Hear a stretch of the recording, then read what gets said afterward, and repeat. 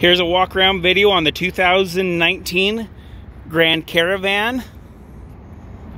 Does look like it has a very couple small rock chips up in the front and a little bit across the bottom there. Hood looks good. Looking at tire tread is probably 75 to 80%. Looking down the driver's side, everything looks good there.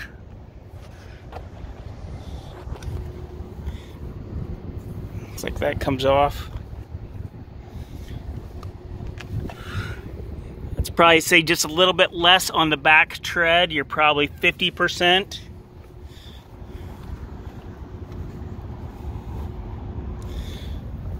All pretty clean on across the bottom here.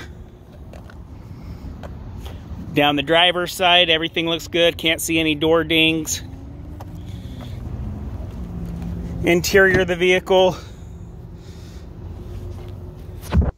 looks good.